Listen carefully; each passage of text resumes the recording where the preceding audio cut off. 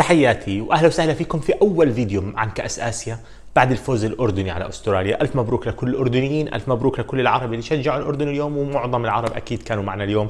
والحمد لله فوز حتى زاد حظوظ دولنا العربية الأخرى في المجموعة. وخلتنا نحكي مع بعض ليش ما نغلبهم؟ ونطلب من أستراليا ترجع قارتها وتضل قارة آسيا في آسيا. فوز مهم جدا حنحكي في تفاصيل بهذا اللقاء بس أرجوكم قبل ما نبدأ تشتركوا بقناة سيلفي سبورت على اليوتيوب لأنه دائما فيها فيديوهات أكثر وبتنزل بشكل أسرع من أي مكان آخر. لعله بداية الانتصار بالنسبة للأردن واللي كان مستغرب علينا شوي من الناحية التكتيكية نشوف منتخبنا بيلعب بشكلين نشوف الأردن تلعب بوجهين تكتيكيا منضبطين. في الهجوم كانت واضحة 4 3 3 عندنا أطراف وعندنا مهاجم وكان الشكل واضح هجوميا. الشكل الدفاعي كان ملفت وكان ممتاز لأنه أول ما كانت الأردن تكسر الكرة الفريق ياخذ شكل واضح ما بين 4 4 1 1 وهذا الشكل بيعطي الأردن اثنين دائما على الأطراف مشان يمنعوا خطورة أطراف أستراليا اللي هم أخطر ما عندهم وبالتالي المهاجم أو الجناح الأسترالي ما كان قادر عم بيلقى نفسه بواحد لواحد عشان يدخل منطقة الجزاء وهذا الشيء كثير ضايقهم بشكل واضح. وأيضا الواحد اللي كان يتقدم بعض الأحيان كان مرجان يضغط على صانع ألعاب أستراليا فكان في منع لأستراليا إنه تلعب كرات بالعمق من الوسط لمنطقة جزاء الاردن مباشرة. وهذا الشيء أيضا خلى قلبين الدفاع دائما مركزين يسيطروا على أي كرات تيجي بعد ما تفلت من خط الوسط أو خط الدفاع على الطرف. كان تنظيم دفاعي ممتاز. طبعا الشكل لا يعني شيء إذا ما كان في انضباط إذا كان ما في توزيع أدوار. يعني مجرد تحكي 4 4 1 1 وحلت المشكلة لا طبعا. اللي حل المشكلة أكثر انضباط اللاعبين تضحيتهم البدنية الممتازة وأيضا قدرتهم على توقع كرات الفريق. يعني لو بدنا نشيد بلاعب اليوم أكيد حنشيد بخليل بن عطية. اللي الجميع يتكلم عنه لو دخلت على تويتر لقيت كل الناس مش بس الأردنيين اللي إحنا بنعرفه لا كل الناس عم تتكلم عنه إنه هذا اللاعب ذكرهم بكانتي اليوم من كثر ما صنع ما قطع كرات بكثر ما كان عنده حسن توقع ممتاز للغاية بكل كرة عند أستراليا. أسلوب لعب الأردن كان قائم بشكل واضح على تقليل الأفكار عند أستراليا، تقليل احتمالات التمرير عند أستراليا، يعني بتصير احتمالات أستراليا أقل توقع، أقل، وبالتالي بتصير أحسن للأردن تتوقع شو بدها تعمل أستراليا، بصير واضح في كرة لهاد أو كرة لهاد، مش خمس ست احتمالات، هذا الشيء ساعدنا كثير، واللي ساعدنا أكثر فيه خصوصا في الشوط الأول أستراليا كانت بطيئة جدا، واللي ساعدنا فيه في المباراة كاملة إنه أستراليا قليلة الإبداع، قليلة المهارة، ما وثق لاعب أستراليا بنفسه إنه يندفع بالكرة، يركض بالكرة، كانوا محتاجين هذه الشغلة أمامنا والحمد لله ما عملوا يعملوها وكانوا محتاجين نوع من الإبداع وهذا عمره ما كان عندهم صراحة حتى لما جابوا كاس آسيا. فيدال أدار الشوط الأول وبداية اللقاء وبداية الشوط الثاني بشكل ممتاز جدا. في بداية الشوطين في تشابه مهم. دائما كانت أستراليا تبدأ كأنها هي الأخطر وبعدين الأردن تندفع وتتجرأ وتعمل هجمة. في الشوط الثاني كان عندنا تسديدة التعمري وفي الشوط الأول كان عندنا تسديدة يوسف. الثنتين كانوا جاي توقيتهم إنه يعطوا اللاعبين الهيبة ويعطوا اللاعبين إنه خلص الثقة بالنفس إنه لا بنقدر نعمل شيء مع أستراليا. ولما نتكلم عن الهيبة ونتكلم عن الرهبة بدي أعيد شيء حكيته حتى عن العين في كأس العالم الانديه الفرق بين أي فريق وفريق خلينا نحكي إذا كانت المسافة 10 متر فنصف المسافة هي خوف هي الرهبة. فإذا ما عندك الخوف وما عندك الرهبة أنت قربت نصف المسافة إنك تهزمه وهذا كثير كان مهم اليوم إنه المنتخب فعلا ما كان خايف. الشوط الثاني استراليا كانت أخطر بشكل واضح. استراليا في الشوط الثاني كان واضح بدها تعمل شغلتين. بدها تحاول توصل أكبر عدد ممكن من الكرات داخل منطقة الجزاء. كيف مش مهم بالنسبة لهم؟ ليش؟ لأنه كانوا يعتقدوا إذا عملوا هيك كان إما خط الوسط حيضطر يضغط على خط وسطهم اللي بيحاول يوصل الكرات من بعيد أو حيتراجع كثير لمنطقة الجزاء وبالمرتين حيكونوا هم قدروا إما يجدوا مساحات بين خط الوسط وخط الدفاع أو حيلقوا إنه صاروا واصلين الثلث الأخير من منطقة الجزاء وهذا الشيء يعني على مشارف منطقة الجزاء وهذا الشيء كان حيكون لصالحهم.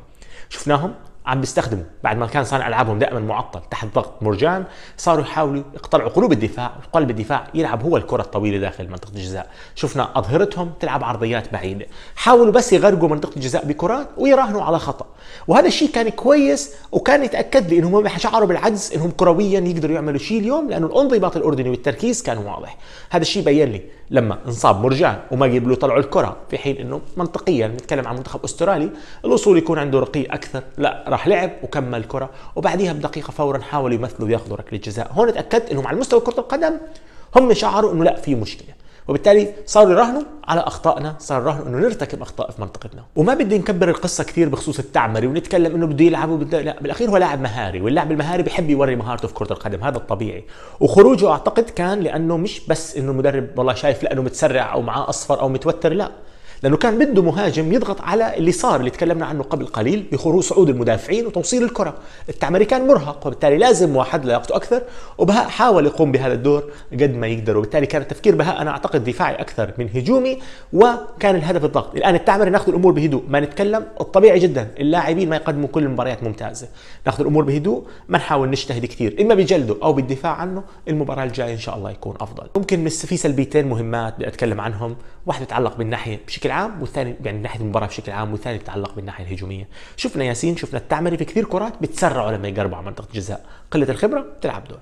بس المفروض الامن المدرب يراجع هذه الحالات حاله حاله معهم ويوريهم كيف كان في احتمالات أفضل للتصرف بالكرة. ممكن بس شيء حيتكرر. سيناريوهات كرة القدم تتكرر فممكن تتكرر معهم ويتعلموا أكثر ويعرفوا إنه لو أنا رفعت عيني هون ما عملت هيك كانت حتصير هيك.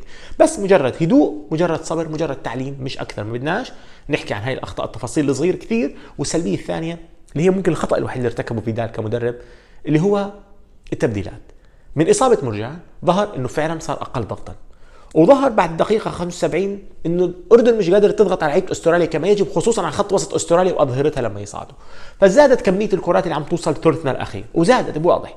كان واضح إنه إحنا مش بدنا شيء أكثر من إنه لاعبين يركضوا. لاعبيتنا خفضت لياقتهم. الآن المشكلة في هذه المسألة إنه لما تنخفض لياقة لاعب 10% بيأثر على زميله. بصير زميله مضطر يغطي مكانه فزميله بتروح منخفضة لياقته. الصبر على لاعب مرهق في الملعب برهق اللي جنبه. هذا أكيد. هذا الخطأ الوحيد اللي عمله فيتال. فشفنا التبديلات لما جاءت حتى حسنت من الوضع. وبالنسبة لعامر شفيع ما في كلام. تعودنا عليه في كأس آسيا. عامر شفيع دائما رائع دائما خارق في كأس آسيا. حارس بالنسبة لبطولات آسيا في هذا القرن هو أفضل حارس في القرن ال21 في آسيا بالنسبة لي على الأقل. بشكل عام قدمنا واحدة من أفضل المباريات التكتيكية شفتها للأردن في حياتي. قدرنا نفصل خط وسط أستراليا عن خط هجومه خليناهم يضطروا يحطوا أربعة لقدام عشان مش قادرين يربطوا إلا 4 2 3 1 شكلهم الأول اللي كان كان مفرق. اضطريناهم يغيروا شكلهم اضطريناهم يلعبوا بشكل مختلف يرجعوا لأسلوب تقليدي قديم جدا عملنا أشياء كويسة كان عندنا هفوات دفاعية كان في ضحكة عامر شفيع لازم نوقفها مسألة الخبرة مهمة في هيك مباريات. كان اللاعب يعني سالم كان مندفع وكان ممكن يخطأ لكن ابتسامته هدته إنه اهدى ما صار شيء. ما دامنا مشينا ما صار شيء. خليك هادي. ابتسامه بتفرق كثير في كرة القدم. ابتسامه الحمد لله أنها وجوهنا في نهاية المباراة. نوصل هنا هذا الفيديو. شكرا كثير لاستماعكم. والسلام عليكم ورحمة الله.